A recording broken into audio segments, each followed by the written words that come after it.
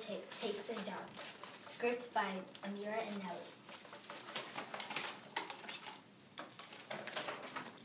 This is George. He lived in the zoo. He is very curious. He wanted to find out what was going on in the outside world. One day when the zookeeper was not looking, George got hold of the George got the key to open his cage. But the time the zookeeper found out, it was too late. George was gone.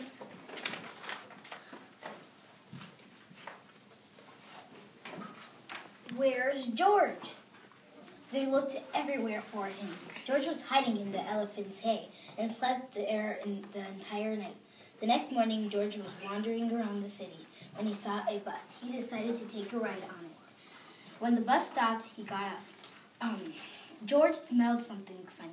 After he was done cleaning the dishes, George, the cook asked George if he wanted to, a job.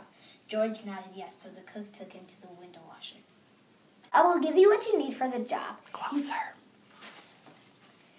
You can start right away, but remember, you are washing windows. Never mind what people inside the house are doing. Don't be curious or you'll get into a lot of trouble.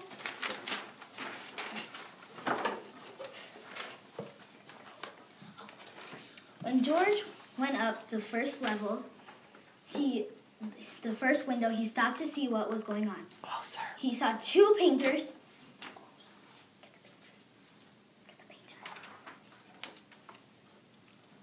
He saw two painters working inside. The painters left for lunch.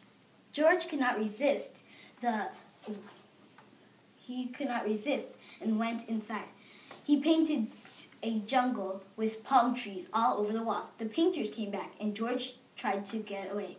He jumped over he jumped from the fire escape and broke his leg.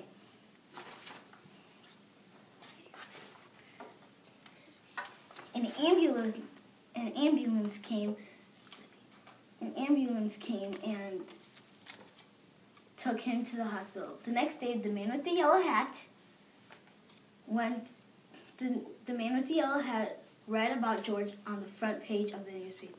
He called the hospital. I am George's friend. Please take good care of him. Please take good care of him so that we will get better better quickly. Don't let him get into any more mischief until I can take him away. Finally, the day came when George could walk again. Your friend Your friend is going to take you away this morning. Just wait right here for him and don't touch anything. George looked around. He saw a big blue bottle. George was very curious. He opened it. It smelled funny. Suddenly, he felt dizzy and everything went dark. And this is how the man with the yellow hat found him. They had to put him inside the, the shower to wake him up. George said goodbye to everyone, and the man with the yellow hat quickly drove him to the movie studio.